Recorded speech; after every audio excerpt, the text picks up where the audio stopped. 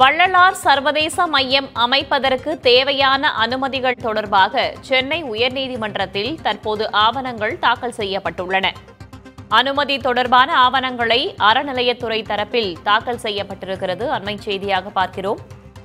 வடலூர் வள்ளலார் சத்திய ஞான சபையில் வள்ளலார் சர்வதேச மையம் முதியோர் இல்லம் சித்த மருத்துவமனை உள்ளிட்ட கட்டுமானங்கள் மேற்கொள்ளும் விதமாக விவசாய நிலத்தை வகை மாற்றம் செய்து வழங்கிய அனுமதிகளை எதிர்த்து வழக்கு தொடுக்கப்பட்டிருந்த நிலையில் அனுமதி தொடர்பான ஆவணங்களை அறநிலையத்துறை தாக்கல் செய்துள்ளது.